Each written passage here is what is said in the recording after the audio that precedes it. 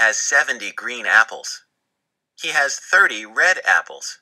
How many more green apples does Nate have than red ones? What do you need to find? You need to find how many more green apples Nate has than red apples. What do you know? You know that Nate has 70 green apples and 30 red apples. How can you model this problem? You can use pictures, objects, and equations to show and solve this problem. Then you can decide if your model makes sense. Draw a picture and write an equation.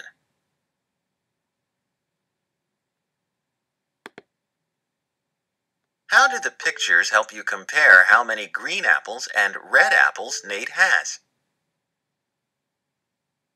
There are seven green tens for the 70 green apples. There are three red tens for the 30 red apples. How many green boxes do not have a red box next to them? Select your answer.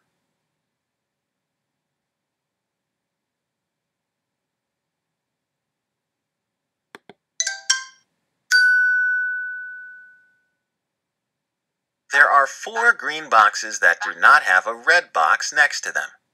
So, there are four tens, or 40, more green apples.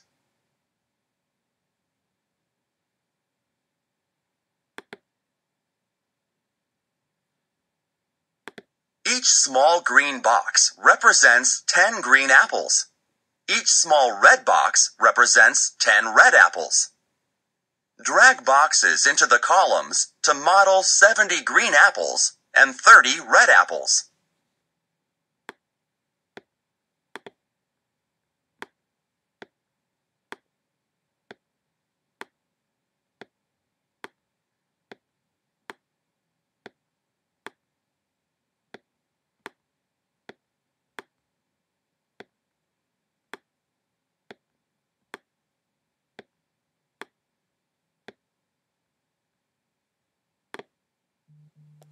Seven tens minus three tens equals four tens.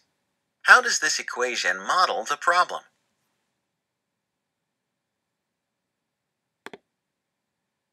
Seven tens stand for the 70 green apples that Nate has.